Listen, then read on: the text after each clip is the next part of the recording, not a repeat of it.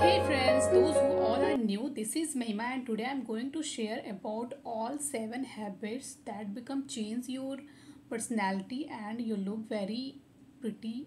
charming, attractive, decent instantly.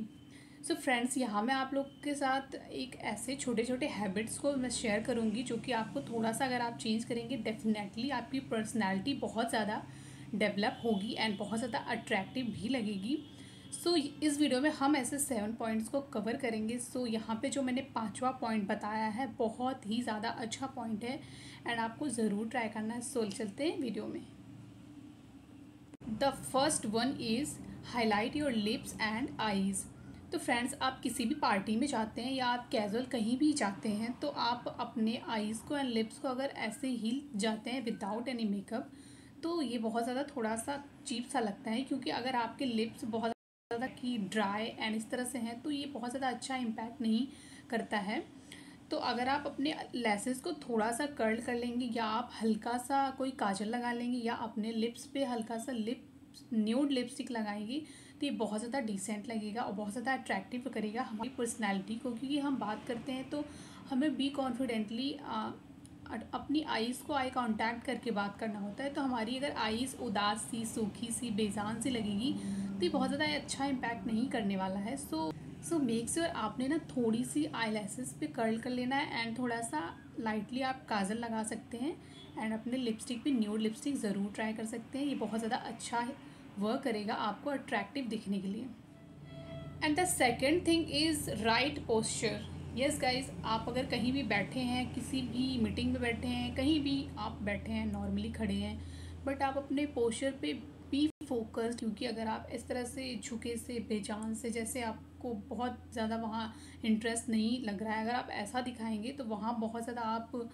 Uncomfortable feel करेंगे and लोग आपसे ज़्यादा अट्रैक्ट नहीं होंगे, क्योंकि आप उनमें ज़्यादा अट्रैक्ट नहीं हैं तो इंटरेस्टेड नहीं है तो वो आप में कैसे हो सकते हैं? तो इसलिए अपने पोस्चर को हमेशा बी कॉन्फिडेंटली स्मार्टली बैठना है एंड स्ट्रेट बैठना है जैसे कि मैंने वीडियो में दिखाया है। Next is smell good of course friends अगर आपने बहुत अच्छे से कपड़े पहन लिए बहुत अच्छे से रेडी हो चुके हैं बट आप गंदा स्मेल कर रहे हो तो ये बहुत अच्छा नहीं है गंदी बात है ये अच्छी बात नहीं हो सकती है। सो so, इसके लिए आपको थोड़ा सा परफ्यूम को ज़रूर यूज़ करना है। मतलब ऐसा नहीं कि परफ्यूम में नहाने की ज़रूरत है बट ऐसा नहीं करना है। यहाँ पे आपको स्मेल गुड यानी आपको लाइटली कोई परफ्यूम यूज़ करना है जिससे कि वो उसकी स्मेल अच्छी हो तो जो कि हमारी पर्सनैलिटी पे बहुत ज़्यादा ज़रूरी है। तो ये छोटी सी चीज़ को आपको बिल्कुल भी अवॉइड नहीं करना है इस पर बी फोकस करना है क्योंकि अच्छा स्मेल करेंगे तो डेफिनेटली आपकी पर्सनैलिटी अट्रैक्टिव लगेगी। सो so, यहाँ पे इस तरह से बस थोड़ा सा परफ्यूम लेना है एंड जिस तरह से मैंने वीडियो में दिखाया आपको सिर्फ़ अपने गले के पास एंड अपनी कलाई के पास बस जस्ट दैट्स इट इतना परफ्यूम इनफ होता है हमारी स्मेल को अच्छा बनाने के लिए। So yeah this is important for looking you attractive then friends the next point is your nails of course nails को हमें बहुत ज़्यादा डिसेंट दिखाने की ज़रूरत होती ही होती है, क्योंकि हम कोई भी ट्रांसपेरेंट या न्यूड नेल पेंट्स को ट्राई कर सकते हैं, जो कि अच्छा लगता है ऑफकोर्स ताकि वो वो अगर निकलते भी हैं, छुटते भी हैं तो वो उतना ज़्यादा दिखते नहीं हैं क्योंकि काम चल जाता है कहीं भी। सो so, यहाँ पे मैंने ग्लॉसी सिल्वर कलर का नेल पॉलिश लगाया जो कि बहुत ज़्यादा अच्छा है ये निकलता भी हो तो उतना ज़्यादा दिखता नहीं है बट इसके हर कलर के नेल पॉलिश आते हैं। तो आप ग्लॉसी गोल्डन सिल्वर या किसी भी कलर के नेल पॉलिश को ट्राई कर सकते हैं जो कि जल्दी निकलते नहीं है एंड अगर निकलते भी हैं तो जल्दी दिखते नहीं हैं। देन आपको यहाँ पे nude metallic finish nail paints को ट्राई कर सकते हैं जो कि बहुत ज़्यादा अच्छे भी लगते हैं। एंड लाइट कलर ऑफकोर्स अच्छे लगते हैं तो आपको यहाँ पे हमेशा नेल्स को या फिर अच्छे से सेट करके रखना है या फिर नेल्स नहीं रखना है तो आप नेल पॉलिश को अच्छे से ट्रांसपेरेंट वगैरह ज़रूर ट्राई कर सकते हैं जो कि अट्रैक्टिव पर्सनैलिटी दिखाने में बहुत ज़्यादा हेल्पफुल करता है। सो so, आपको अपने नेल्स पे भी बहुत ज़्यादा ध्यान देने की ज़रूरत पड़ती है। So friends then the next point is keep your phones down तो यहाँ तो सबको बताने की ज़रूरत है नहीं बट यहाँ पे कई यंग गर्ल्स जो होती हैं, वो हर जगह ईयरफोन लगा के एंड मोबाइल को बार बार चेक करती हैं मोबाइल को बार बार यूज़ करती हैं। कहीं भी बैठी हुई हैं, किसी भी गैदरिंग पार्टी में बैठी हैं फॉर मीटिंग में बैठी हुई हैं, कहीं भी बैठी हुई हैं, वो जस्ट अपने फ़ोन को बार बार चेक करती हैं एंड ईयरफोन लगाती हैं, गाने सुनती हैं, कुछ भी। तो बहुत ही ज़्यादा चीप मैनर होता है, मैं कहती हूँ। अगर आप किसी आप बैठे हो? किसी के भी साथ दो, चार छः कितने लोगों के बीच में भी आप बैठे हो एंड आप अपना फ़ोन यूज़ कर रहे हो मतलब कि सामने वाले में आपको कोई इंटरेस्ट नहीं है उससे बात करने में, उसकी बातों में कोई भी इंटरेस्ट नहीं है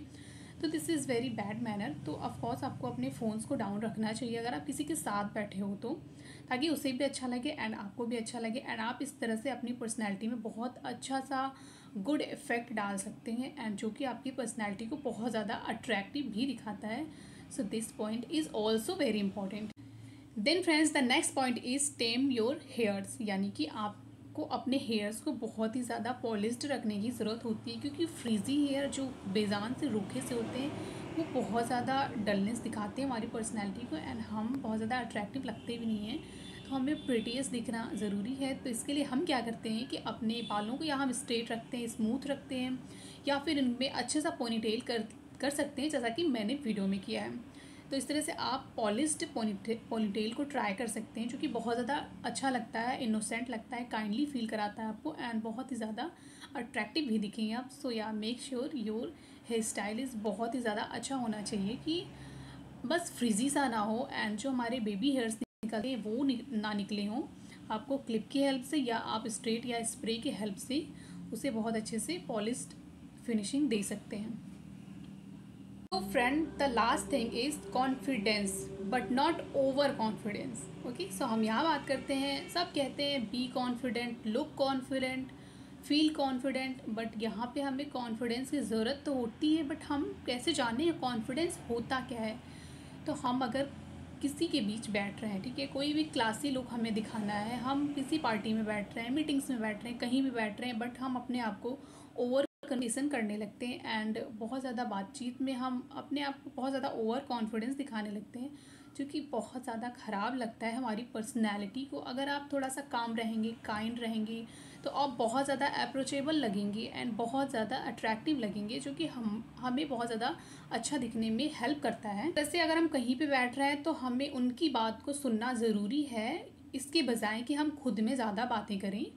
तो आप थोड़ा काइंड रहिए बी कॉन्फिडेंट भी रहिए एंड थोड़ा सा काम भी रहिए जिससे कि बहुत ज़्यादा अट्रैक्टिव दिखेंगे आप और थोड़ा पोलाइट रहिए, चीज़ों को बहुत अच्छे से सुनिए, समझिए, फिर बोलिए, वो बहुत ज़्यादा अट्रैक्टिव दिखाएगा हमारी पर्सनैलिटी को। सो गाइज़ आई होप आपको ये सारे पर्सनैलिटीज़ को डेवलप करने में बहुत ज़्यादा हेल्प किए होंगे ये मेरे सारे पॉइंट्स तो आपको इन सबको ज़रूर ट्राई करना है एंड डेफिनेटली इसके बाद आने वाली वीडियो आपके लिए बहुत ज़्यादा हेल्पफुल रहेगी एंड अगर कोई पॉइंट आप एक्स्ट्रा चाहते हैं तो प्लीज़ कॉमेंट में बताना और अभी तक वीडियो को लाइक नहीं किया तो लाइक करना और चैनल पर नया हो तो प्लीज़ चैनल को सब्सक्राइब करना। Keep smiling and take care and bye